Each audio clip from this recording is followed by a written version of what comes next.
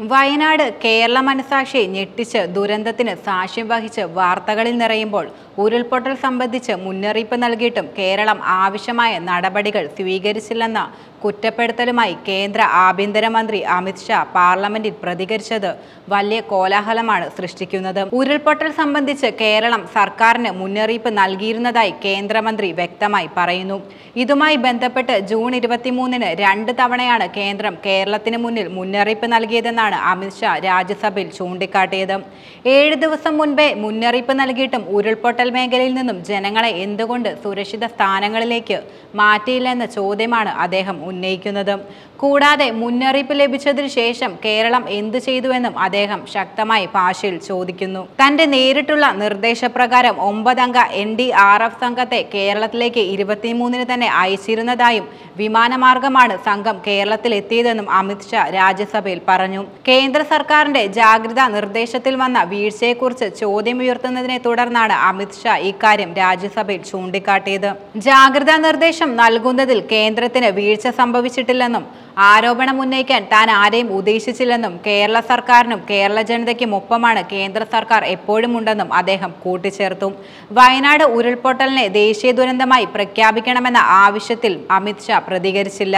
വയനാട്ടിലേക്ക് air force army സംഘത്തെ അയച്ചിട്ടുണ്ടെന്നും army helicopter അടക്കമുള്ള സൗകര്യങ്ങൾ ഒരുക്കിയിട്ടുണ്ടെന്നും കേന്ദ്ര ആഭ്യന്തര സഹമന്ത്രി നിത്യാന റായ് വ്യക്തമാക്കി. കൂടാതെ ഇവർക്കൊപ്പം മെഡിക്കൽ സംഘത്തെ അയച്ചിട്ടുണ്ടെന്നും ആയിരത്തിലധികം ജനങ്ങളെ രക്ഷിക്കാനായെന്നും റായ് കൂട്ടിച്ചേർത്തു. കേരള സർക്കാരിനെതിരെയുള്ള അമിത്ഷായുടെ ഈ വിമർശനത്തിന് മുഖ്യമന്ത്രി പിണറായി വിജയൻ കുറച്ചു മുമ്പ് മറുപടി നൽകിയിട്ടുണ്ട്. ഇരു കൂട്ടരും പരസ്പരം പഴിചാരേണ്ട സന്ദർഭമല്ലിത് കാലാവസ്ഥാ മുന്നറിയിപ്പുകളെ ഗൗരവത്തോടെയാണ് കാണുന്നത്. വസ്തുതകളെല്ലാം എല്ലാവർക്കും അറിയാവുന്നതാണെന്നും കേന്ദ്രം മുന്നറിയിപ്പ് നൽകിയിട്ടും കേരളം എന്താണ് ചെയ്തതെന്ന ആഭ്യന്തരമന്ത്രി അമിത്ഷായുടെ പരാമർശം സാഹചര്യത്തിന് ചേർന്നതല്ല എന്നുമാണ് മുഖ്യമന്ത്രി പറയുന്നത്. ഈ ദുരന്തമുണ്ടായ പ്രദേശങ്ങളിൽ ഓറഞ്ച് അലർട്ടാണ് നിലനിന്നിരുന്നത്. നൂറ്റി പതിനഞ്ചിനും ഇരുന്നൂറ്റിനാല് മില്ലിമീറ്ററിനും ഇടയിൽ മഴ പെയ്യുമെന്നായിരുന്നു കേന്ദ്ര കാലാവസ്ഥാ വകുപ്പ് നൽകിയ മുന്നറിയിപ്പ്. എന്നാൽ ആദ്യ ഇരുപത്തിനാല് മണിക്കൂറിൽ ഇരുന്നൂറ് മില്ലിമീറ്ററും അടുത്ത ഇരുപത്തിനാല് മണിക്കൂറിൽ മുന്നൂറ്റി എഴുപത്തിരണ്ട് മില്ലിമീറ്റർ മഴയും പെയ്തപ്പോൾ മുന്നറിയിപ്പ് നൽകിയതിലും എത്രയോ അധികമായി അത് മാറി. ദുരന്തമുണ്ടാകും മുൻപ് ഒരു തവണ പോലും അവിടെ റെഡ് അലർട്ട് നൽകിയില്ല. അപകടമുണ്ടായ ശേഷം രാവിലെ ആറ് മണിയോടെയാണ് റെഡ് അലർട്ട് നൽകിയത്. ഇരുപത്തിമൂന്ന് മുതൽ ഇരുപത്തെട്ട് വരെ വയനാട്ടിൽ ഓറഞ്ച് അലർട്ട് പോലും നൽകിയിരുന്നില്ല എന്നത് മുഖ്യമന്ത്രി പറയുന്നു.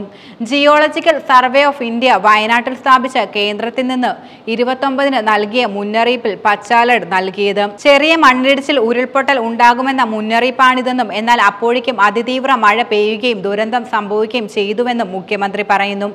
ജൂലൈ ഇരുപത്തിമൂന്ന് ഇരുപത്തൊമ്പത് ദിവസങ്ങളിൽ കേന്ദ്ര ജല കമ്മീഷൻ ഇരുവഞ്ചിപ്പുഴയിലോ ചാലിയാറിലോ പ്രളയ മുന്നറിയിപ്പ് നൽകിയിരുന്നില്ല. വസ്തുതാപരമായി ഇത്രയും കാര്യങ്ങൾ ഇരിക്കെയാണ് അമിത്ഷാ പാർലമെന്റിൽ വസ്തുതാവിരുദ്ധമായ കാര്യങ്ങൾ പറഞ്ഞത്. കേരളം മുൻകൂട്ടി ആവശ്യപ്പെട്ടതനുസരിച്ചാണ് എൻ ഡി ആർ എഫ് സംഘത്തെ അയച്ചതെന്നും ഇതിലൊരു സംഘത്തെ വയനാട്ടിൽ വിന്യസിക്കുകയും ചെയ്തുവെന്നും മാധ്യമങ്ങൾക്ക് മുന്നിൽ മുഖ്യമന്ത്രി വ്യക്തമാക്കി. കാലവർഷം ആരംഭിച്ചതു മുതൽ കേന്ദ്ര കാലാവസ്ഥാ വകുപ്പ് നൽകുന്ന മുന്നറിയിപ്പ് അനുസരിച്ച് ഓരോ പ്രദേശത്തും സുരക്ഷാ സംവിധാനങ്ങൾ. സർക്കാർ ഒരുക്കിയിരുന്നതായും ഈ പ്രദേശത്ത് റെഡ് സോണിന്റെ ഭാഗമായുള്ള ഇടങ്ങളിൽ മുന്നറിയിപ്പ് നൽകിയും ജനങ്ങളെ മാറ്റിപ്പാർപ്പിച്ചിരുന്നതായും പറഞ്ഞ മുഖ്യമന്ത്രി ദുരന്തത്തിന്റെ വ്യാപ്തി കുറയ്ക്കാൻ ഇതുമൂലം കഴിഞ്ഞുവെന്ന് അഭിപ്രായപ്പെടുന്നു. ഉരുൾപൊട്ടൽ നടന്ന സ്ഥലത്തു നിന്നും ആറ് കിലോമീറ്റർ അകലെയുള്ള ആളുകളാണ് അപകടത്തിൽപ്പെട്ടിരിക്കുന്നത്. കാലാവസ്ഥാ വ്യതിയാനത്തിന്റെ ഭാഗമായുള്ള ദുരന്തങ്ങൾ ഉണ്ടാകുമ്പോൾ അതിന്റെ ഉത്തരവാദിത്തം ആരുടെയെങ്കിലും ചുമലിൽ തള്ളി രക്ഷപ്പെടാതെ അതിനെ നേരിടാനുള്ള നടപടികൾ സ്വീകരിക്കുകയാണ് കേന്ദ്ര സർക്കാർ ചെയ്യേണ്ടതെന്നും പിണറായി വിജയൻ തിരിച്ചടിച്ചു പരസ്പരം പഴിചാരാതെ ദുരന്തത്തിന് ഇരയായവരെ രക്ഷിക്കാൻ കൂട്ടായ ശ്രമം നടത്തുകയാണിപ്പോൾ വേണ്ടതെന്നും അദ്ദേഹം പറഞ്ഞു. മുഖ്യമന്ത്രിയുടെ ദുരിതാശ്വാസ നിധിയിലേക്ക് സംഭാവനകൾ നൽകാൻ എല്ലാവരും തയ്യാറാകണമെന്നും ദുരിതബാധിതരെ സഹായിക്കാൻ എന്ന പേരിൽ വ്യാപകമായി നടത്തുന്ന പ്രവർത്തനങ്ങൾ ഒഴിവാകണമെന്നും മുഖ്യമന്ത്രി പറഞ്ഞുവെച്ചു.